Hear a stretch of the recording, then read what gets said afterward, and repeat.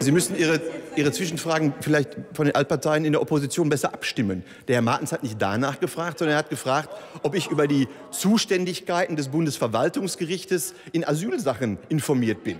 Das war seine Frage. Und es ging nicht um irgendwelche Gesetz und es ging nicht um irgendwelche Gesetzentwürfe, die morgen im Bundesrat ohne Beteiligung der AfD noch verhandelt werden. Also Frau Kohl, das hat gar nichts miteinander zu tun. Sie versuchen jetzt hier, Sie versuchen jetzt hier aus der, aus der, aus der grünen Gutmenschenecke, versuchen Sie jetzt hier meine Rede zu torpedieren. Das ist kläglich gescheitert, Frau Kohl. Dennoch, dennoch soll es natürlich unserer weiterhin guten Zusammenarbeit im Rechtsausschuss keinen Abbruch tun. Vielen Dank.